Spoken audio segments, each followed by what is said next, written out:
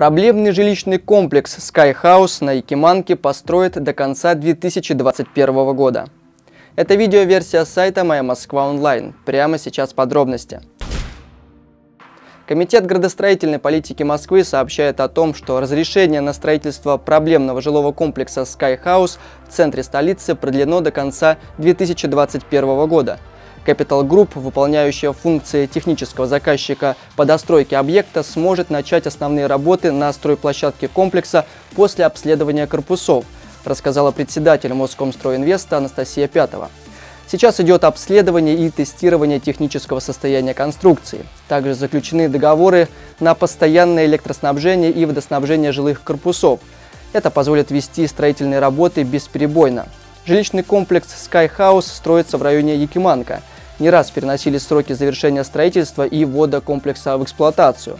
В ЖК площадью более 146 тысяч квадратных метров предусмотрено 8 корпусов, 4 из них жилые, в других разместятся физкультурно-оздоровительный комплекс, спортивная школа, административное здание и паркинг. Девелоперская компания Capital Group взяла на себя достройку проблемного объекта в качестве технического заказчика с 2019 года. На этом у меня все. Следите за новостями столицы и не только на сайте mymsk.online. Всего доброго!